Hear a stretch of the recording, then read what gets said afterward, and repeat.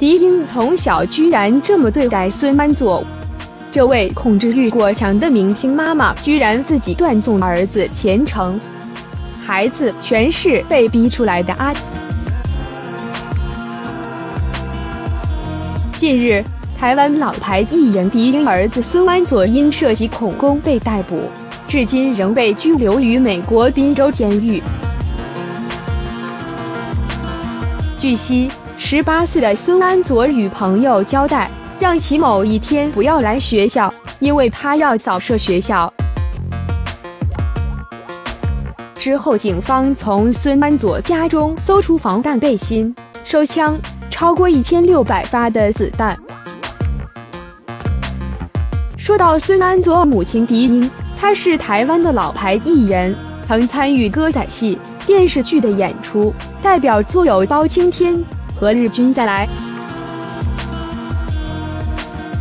狄英是一个脾气火爆的女人，早年在节目中说过，因看不过蓝洁瑛耍大牌，便冲上去打她。在蓝洁瑛没有还手后，扬长而去。之后在节目中大肆宣扬，言语中非常得意。狄英除了在日常生活中脾气非常暴躁外，在对待儿子时管控的也尤为严格。曾在《康熙来了》节目中，狄英的好友吐槽他对儿子的学业要求特别高，如果没有考到一百分，就把儿子屁股打到开花。